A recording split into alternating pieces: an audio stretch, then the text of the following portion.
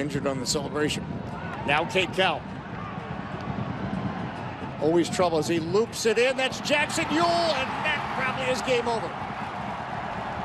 Yueill is second of the night. San Jose, a 4-1 lead. So often this happens. Team misses an opportunity, get themselves back in the game. What just happened with DC United and San Jose. Just moments later, comes down and punishes them. You gotta say, Dave, this is a tremendous goal for San Jose. Look at the effort here by Cade Cowell, gets himself in a good position, and look at the quality. Just dinking that across the six, allowing